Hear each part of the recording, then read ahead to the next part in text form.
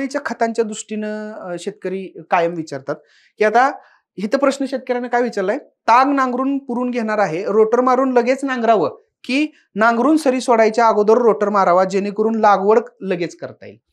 तागाचं ज्या वेळेला तुम्ही शेतामध्ये लागवड करता त्यावेळेला आपल्याला लक्षात ठेवणं गरजेचं आहे की ताग लावल्यानंतर जवळपास पंचेचाळीस ते पंचावन्न साठ दिवसापर्यंत शेतामध्ये गाडायला येतो. पन्नास टक्के फुलोऱ्यावर असताना हे पीक शेतामध्ये गाडायचं आहे जर तुम्ही डायरेक्ट नांगरट करायला गेला बऱ्याच वेळेला पलटीमध्ये टाग मागा अडकतो किंवा मातीमध्ये तो नीट गाडला जात नाही.